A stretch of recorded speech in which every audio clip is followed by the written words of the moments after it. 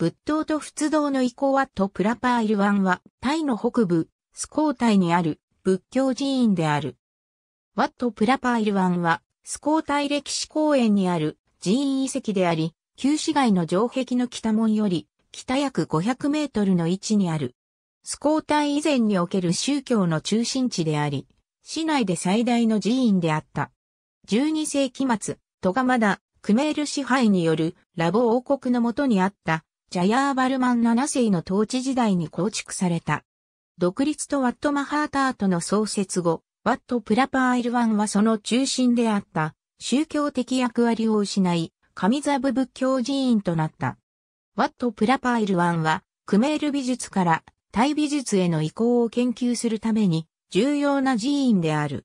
寺院は1965から1966年に修復を受けた。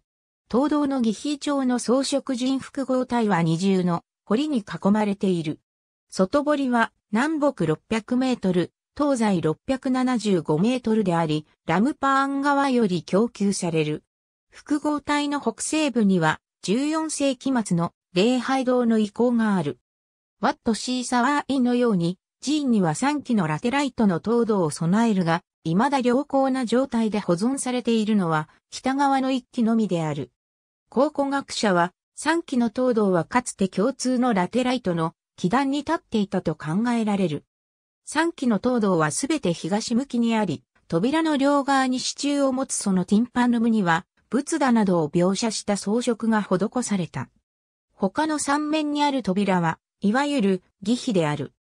14世紀になり、東道は改修され、タイ美術の基本的様式となる精巧な早枠の模様が化粧漆喰に追加された。その漆喰美術のほとんどは現在ラームカムヘーン国立博物館に収蔵されている。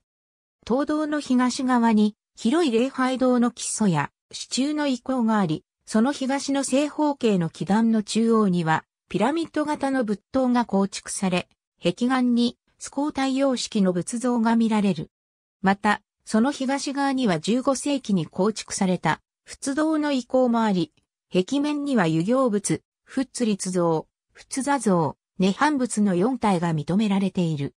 東道の西側には8カ所の結界石に囲まれる小さな本堂がある。ありがとうございます。